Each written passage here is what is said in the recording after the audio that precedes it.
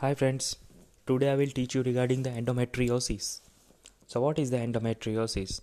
It means the presence of endometrial tissue outside the uterus, which should not be present there, but it's present outside the uterus, and then that's why it is called endometriosis. So, let's start the discussion. Now, wherever this endometrial tissue is get deposited, deposited, you can able to see the endometrial glands or stroma you know that endometrium is made up of glands and stroma. So you can able to see the endometrial glands or endometrial stroma blue colored endometrial stroma. Uh, there can be presence of hemorrhage as well. So if two of these three criteria is present then your diagnosis will be endometrial. So because of presence of this endometrial gland is present around the fibrous tissue it will give the appearance like it is embedded in the fibrous stroma. So, this was the case. The endometrial glands are embedded in the fibrous stroma. This is the fibrous stroma, and this is the endometrial glands, and this is the endometrial stroma, blue color. So, it's embedded in the fibrous stroma. We will inspect the other fields as well. Uh, this, this is also the endometriosis. You can able to see the glands as well as the endometrial lining. Here the lining is also present. And this is the endometrial stroma. All are embedded in a fibrous stroma. Uh, this is the high power view of the endometriosis.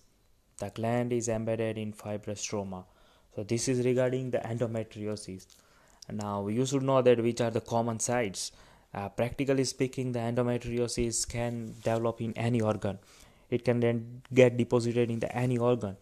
But the common sites are ovary then the uterine ligaments then rectovaginal septum then pelvic peritoneum uh, sometimes it can develop in the scar and lymph node as well.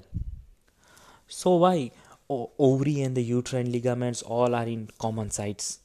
That's because the endometriosis is thought to be developed the one hypothesis is that that it can develop because of retrograde menstruation. And the another theory is metaplasia. The common accepted theory is the retrograde menstruation. And that's why these are the common sites. The patient can present with uh, pelvic pain. Actually uh, this was a case of the biopsy from the 42 year female patient that was developed endometriosis uh, from the lower caesarean section scar.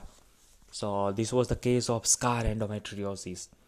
Now, if you will not treat this case, then what will happen? The treatment can be medical or surgical. So if you will not treat, then it can undergo metaplasia and sometimes it can undergo atypical change and carcinoma can develop from this endometriosis foci.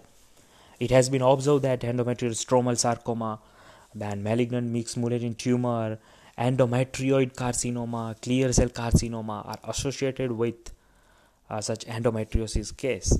That's why it should be treated. And whenever in ultrasonography uh, such endometriosis is suspected, it should be sent for histopathological examination to confirm the diagnosis. So that's regarding the endometriosis.